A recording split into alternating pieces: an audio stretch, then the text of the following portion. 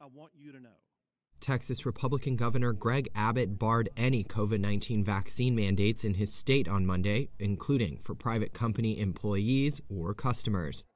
Abbott's move comes a month after President Joe Biden's call for businesses across the country to fire workers who aren't vaccinated. At least a few thousand people have lost their jobs for refusing to comply. In an executive order on Monday, Abbott said, quote, In another instance of federal overreach, the Biden administration is now bullying many private entities into imposing COVID 19 vaccine mandates, causing workforce disruptions that threaten Texas's continued recovery.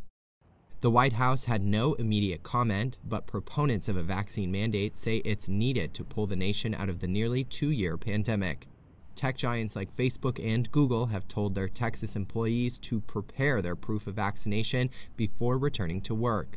And American Airlines, the largest U.S. carrier based in the state, told its 100,000 employees in Fort Worth to submit their vaccination record by late November or be fired.